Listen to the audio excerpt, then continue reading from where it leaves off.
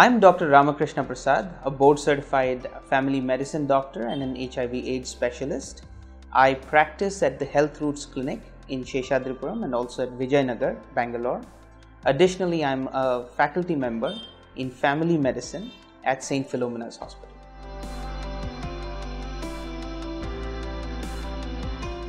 So, let's talk a little bit about what are the signs and symptoms of HIV infection itself.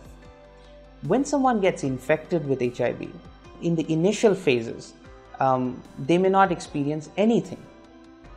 Uh, however, uh, several people might experience a flu like illness or a viral fever like illness, uh, the signs and symptoms of which are feeling tired, having a fever, they may have bumps in their throat area, in their neck area called lymph nodes, and they may also have a rash. This is uh, the phase which is called acute HIV infection or primary HIV infection.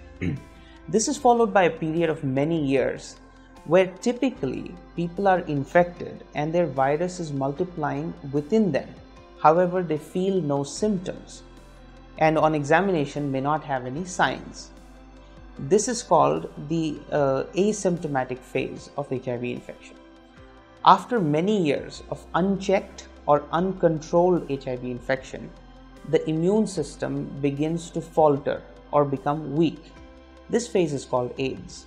Some of the important signs and symptoms of this phase, that is AIDS, include unexplained weight loss, on and off fever, feeling tired, uh, the presence once again of lymph nodes either in the neck or in the armpit areas or in the inguinal groin areas Additionally, um, there could be some skin findings or um, developing the signs and symptoms of another infection such as tuberculosis.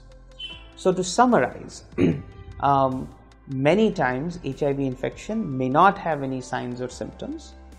So, it is important to be uh, tested for HIV in a timely manner, even in the absence of any symptoms or signs if there be uh, any concern that one might have been exposed. Additionally, because HIV does not have any specific signs and symptoms, um, if there is any concern, it would be advisable to meet with a physician and be screened or tested for HIV infection. Um, and uh, specifically for the mom who asked this question, um, it is very difficult to comment whether uh, the symptoms described are of HIV infection itself. Um, if there is concern that your teenage daughter might have been exposed to HIV infection either at the time of birth or subsequently, the uh, most advisable thing would be to meet with a physician and be screened or tested for HIV infection. Thank you.